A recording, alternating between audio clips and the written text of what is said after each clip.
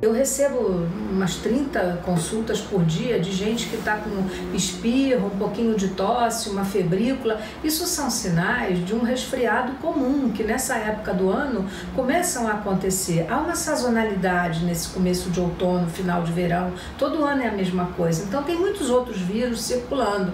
Então, assim, tirar as pessoas dos serviços de saúde é o conselho mais sensato e mais oportuno que todos nós temos que ter.